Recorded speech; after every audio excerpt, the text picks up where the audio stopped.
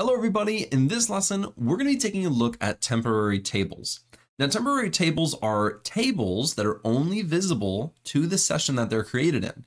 So if I create a temp table right now and I exit out of MySQL and I come back in, it's not gonna be there anymore. And we'll look at that in just a little bit. Now, temporary tables can be used for a lot of things, but how I've mostly used them, especially as a data analyst, is for storing intermediate results for complex queries, somewhat like a CTE, but also for using it to manipulate data before I insert it into a more permanent table. So let's take a look at how we can create a temp table. There's two ways that you can do it. I'll show you the first way, which I don't think is as popular, and then I'll show you the second way, which is how I typically use it the most. Now, the first way to create a temp table is to create a temporary table. I need to sound it out like that. It's the only way I can spell. Uh, so we're gonna do temp underscore table. So this is our name. Now, if we just took this out and we created a table, this would create a table in our Parks and Recreation database, but we don't want that. We don't want to create a temporary table that just lives inside of our memory or the memory within our computer. Now we're going to create this temporary table much like we would a regular table. And we're going to need to name the columns as well as the data types. So let's do first underscore name, and our data type can be varchar, let's say 50. Then we'll do a comma.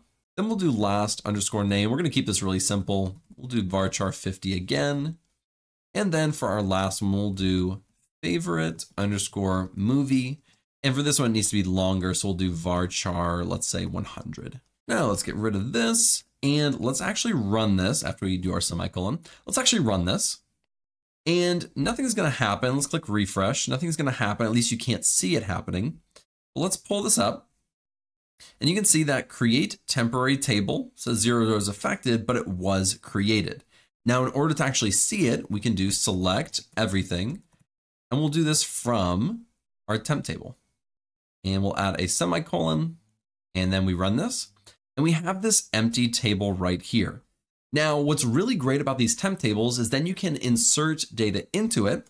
And it basically is like a real table, except it just lives in memory and they go away after a while. But you can reuse this temp table over and over and over again. Now let's insert some data into here and then we'll take a look at this again. So let's come right down here. Let's insert data. We'll do insert into, and we want to insert that into the temp table. And we're just going to say values. Now we just say values. I'll use myself for this one. We'll do uh, Alex Freberg. And what's my favorite movie?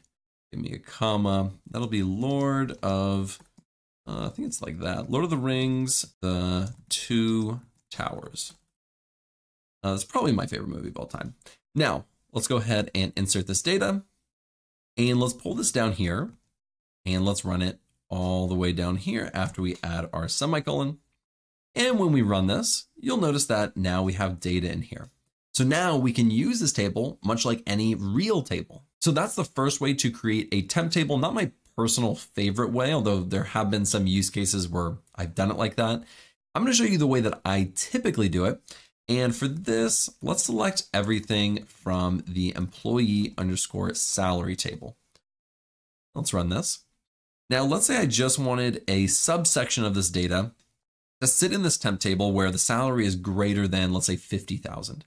Well, I could easily, easily do this. I'm going to say create temporary table. And let's do this one as salary over underscore 50K. Now, one thing about naming either temp tables or CTEs or subqueries or any of these things where you need to name something, I try to typically name it something that actually makes sense. So the salary over 50K is something I would actually name it in my real work. I wouldn't normally name it something like temp table. The reason for that is because when you're in a work environment and you have lots of temp tables, you're creating really advanced stored procedures, really advanced queries, you have hundreds or even thousands of tables and different databases, it gets really complex. So naming conventions are actually pretty important, or they become more important uh, the more you get entrenched in this stuff. So just something to think about. Now we're creating this temp table. Now we don't have to really insert data into it more than we're just going to select data from an already existing table. I'm going to say select everything from, I'm going to say employee salary. Then we're just going to say where the salary is greater than 50,000. Now I want uh, Tom and or Jerry. I want them to be included as well. So I'll actually say greater than or equal to. So now we're creating a temporary table based off of an already existing table. And we're just selecting data into this temporary table. So when we run this, now we can select the salary over 50K and let's run this. And it works perfectly. Now, the great thing about temp tables is they last as long as you are within that session.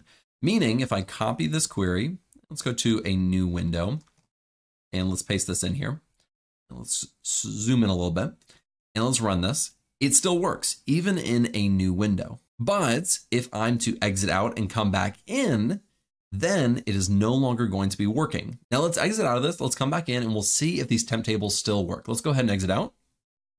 Oh, geez, I'm embarrassed. All right, let's go to MySQL. Let's come over here to the local instance. So now it pulls right back up.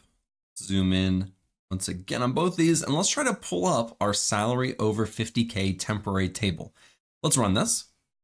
And we're not getting an output. Let's go back.